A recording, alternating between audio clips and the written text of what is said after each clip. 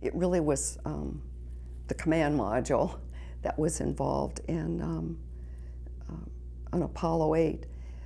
But this is the one where we were running simulations. Um, they were hardware simulations, and I used to bring my daughter in to work nights and weekends. And she would see me pretending I was the astronaut and running a mission. I would pretend I was doing what they did. So she wanted to do it too. And that's when she actually started doing keys, watching her mother. And she started doing it. And the whole thing came crashing down. The mission crashed. And I thought, oh my goodness, um, I can't ignore this because this could happen in a real mission.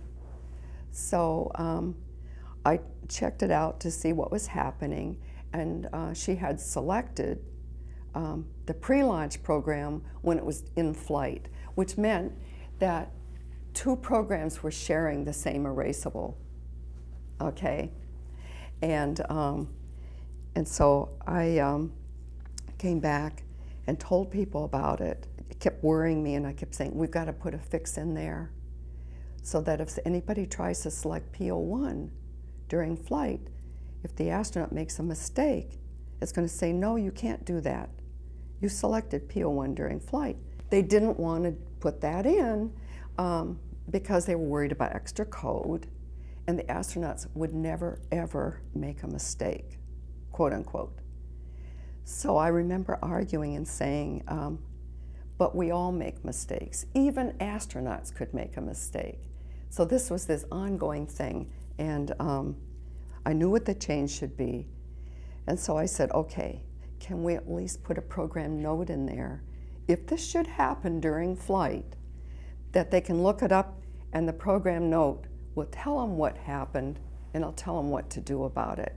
So I remember writing the program note. I wrote it and submitted it, and it said, do not select P01 during flight, end.